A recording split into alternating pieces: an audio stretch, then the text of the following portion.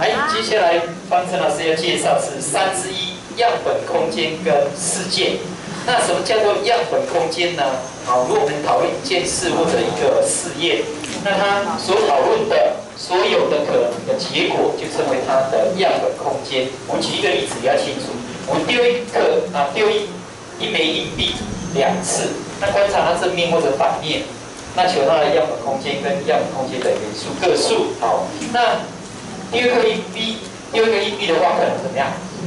正面或者反面？那它总共两次，所以它可能是正面第一次正面，第二次也正面。那还有可能呢？正面、反面，还有呢？反面、正面，还有呢？反面、反面。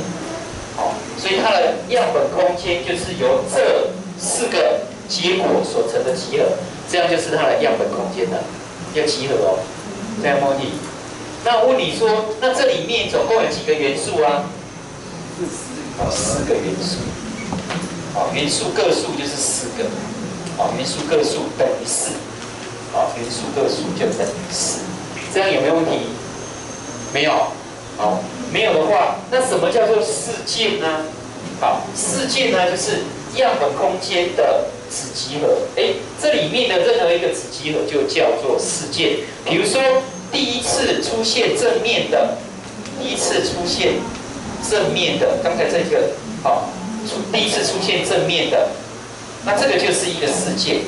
你说这个叫做 A，那 A 的话就会等于什么？在这一题里面，第一次出现正面的，那就是正正，还有呢正。这个就是它的 A 事件，这样模拟。好，就是其实它的。子集合，那你当然也可以说，我第二次要正面，或者第一次要反面，这很多种组合啊。你只要是它的组，啊子集合都可以，都可以。